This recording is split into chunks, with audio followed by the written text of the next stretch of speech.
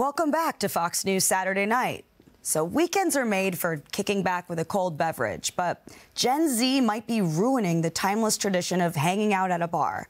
A writer's gone viral for complaining that Zoomers don't know how to behave, claiming that they do pointless things like pay after every single round. So, is this bizarre or just the new normal?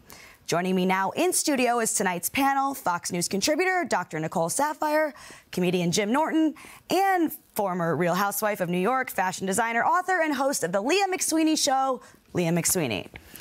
All right, Leah, I'll start with you. I know what you're thinking, you're probably like, wow, I can't even imagine doing anything worse than in a bar than closing out after every single drink. I feel like why did I feel like people just hate Gen Z and Yeah. want to find like any reason to be mad at them. Yeah. Who cares if they pay after every round? Yeah, I, yeah, I, yeah, exactly. Jim, is this real? Is this like a real thing that I people think are it's good to pay after, right? You're, like, you're responsible. You're paying for. You're not going to be in debt. You, you, you buy something, you're done with it. You buy something else. And this is a guy who wants to sleep with younger women in the bar, oh, and they don't want to ah. sleep with him, and he's trying to find something wrong. That ah.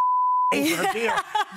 See, I see it as very non-committal. It's Oh. like you're oh. either committing that you're spending the night in this bar, or you're like, you know what, I'm just going to fill it out. After this one drink, I may like it, I may not. I'm going to sign off right now. But I like to commit. I don't like to bar hop. I'm, I'm in it to win it. I'm there all night. So I don't know if I feel how I feel about signing off after every drink. Yeah, Leah, I think it was like a little bit of an overreaction, though. Like, right, who goes to the bar and sitting there like, these people are out of control? I mean, that's not out of control to me. No. I mean, I think out of control would be stealing a bottle and then throwing it at a wall and then punching someone in the face and then getting getting 86 from the bar. Oh, Oh, you're not allowed to do that? I was like, can't do that was these days. that was that was very specific. Specific, yeah. like there's a story there. Specific. People younger are dating on apps now, so it's immediate connections. Yeah. So they're meeting all these people that they never met before. So they're having a lot more worse dates than we had when we were growing up. So you probably want a system where you can have a beer, pay for it, and get out. You don't want to be stuck all night there with some dope that you met on an app who's using 10-year-old photos of themselves. That's That's a absolutely valid true. point. I actually really like good that. And by the way, I tend to go to bed by 10 p.m. anyway. I mean, I'm staying up late these days, as you can see tonight. But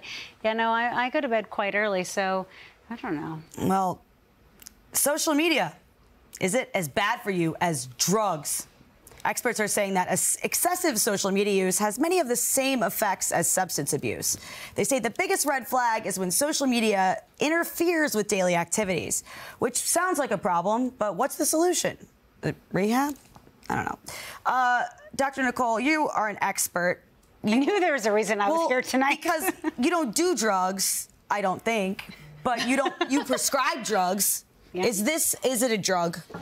Yeah, yes. See, you know what? Listen, you and I over many years have talked about the perils of addiction. And when you talk about the many facets of addiction, you have alcohol, you have drugs, but then you also have gambling, sex, and now social media. You know, are they the same? And the truth is, yeah, they kind of are. They all elicit the same responses in the brain. It's a dopamine response. Yes, obviously, if you take some extrinsic stimuli, such as a cocaine, a heroin, something else, that physically stimulates these receptors in your brain. But hey, guess what?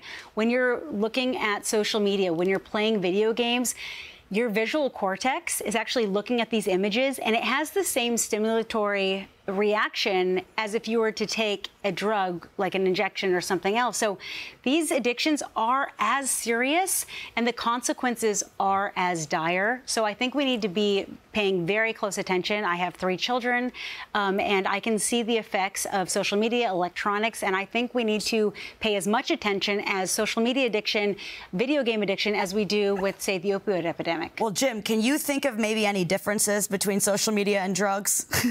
Uh, I would say that uh, social media is worse. at least with drugs, you have to hit somebody with your car before strangers tell you that you're a piece of garbage. and I was, I was That's true.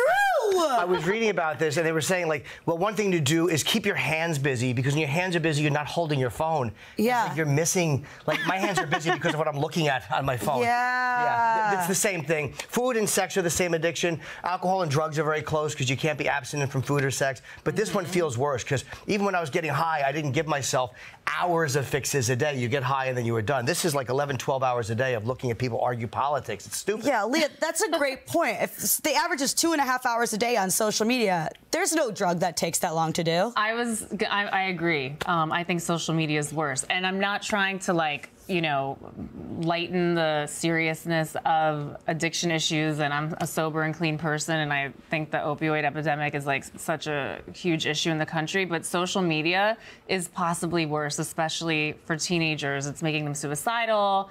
It's it's ruining the in the moment Yeah. vibes. It's just not. Yeah, I'm just on my phone sometimes without even realizing I'm on my phone or how I got there, and I'm looking at someone's picture. Yeah. I'm like, who is this person? And who? Yeah. They, they, they- oh, they had a baby. Oh, cool. it's like, what am I doing with my life? Like who cares? Yeah, if you And- think and you're driving. Yeah, yeah. If you think social media is bad for us, let's just hand over all control to the robots. What could possibly go wrong? We're told that Google is developing an AI program that will offer life advice to users, but Google's own safety experts warn people could become too emotionally attached to AI. Mm-hmm. So, would you take important life advice from an AI program? Leah, I don't know if tech guys, everyone says they're so smart, but they apparently looked around the world and was, was like, you know what we need? We need more life coaches. Okay, I have to admit that I talked to Chat GPT once and Yeah. told them about some of my issues. Okay. And I wanted to see what would happen. It was a weird day for me. Okay. I I was PMSing. Okay. I was lonely. Yeah. And I and I'm like, let me tell this AI robot what's going on. And they were really nice to me. They were- I'm not gonna fire my therapist anytime soon. Look, AI couldn't be any worse than my alcoholic friends at two o'clock in the morning.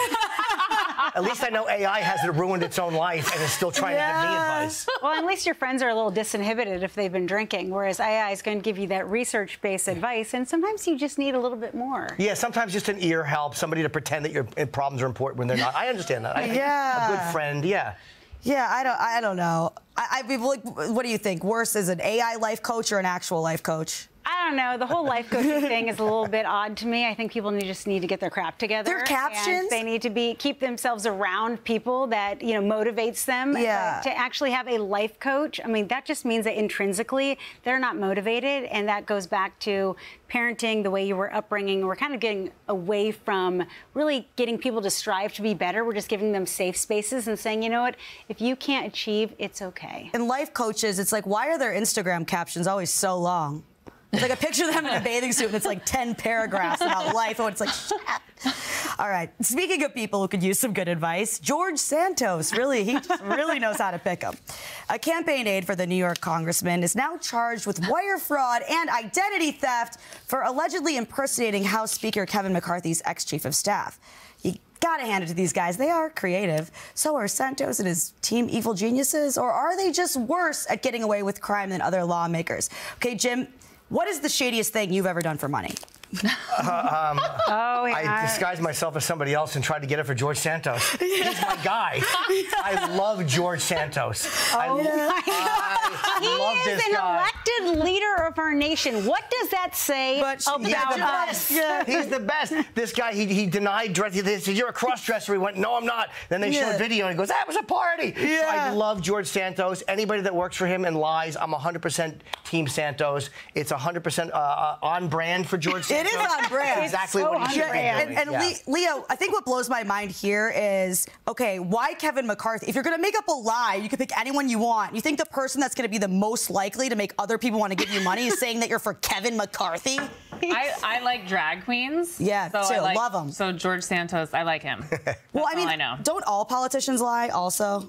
Like, what name a politician that doesn't lie? Right. I, I couldn't name one, but uh, the fact that they chose Kevin McCarthy, are you kidding? He's like Yeah. the black sheep of like Yeah. Republicans these days. Yeah. Like, I'm sorry, you're not in the you're not in the popular crowd right now. If you're going to pick someone else, you know, you should certainly pick someone to uh, to that people actually like. Yeah, you don't go for the. But you have to pick a guy like McCarthy because, like, if I'm sending, if I'm on social media, I'm meeting a woman. I never set my own picture because I'm not that great looking. So I send a good-looking guy. But you don't go for Brad Pitt because they'll know that's a lie. Yeah. You just take like a local male model who's kind of like a seven. That's what I'll say. Kevin McCarthy is a seven. That is the, the whole the message of the show.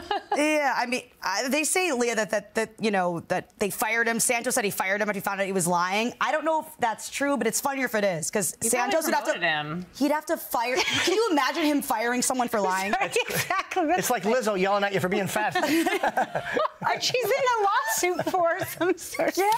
Oh man, everything is backwards. Everything's backwards. But panel, don't go anywhere. Okay? Hey, Sean Hannity here. Hey, click here to subscribe to Fox News YouTube page and catch our hottest interviews and most compelling analysis. You will not get it anywhere else.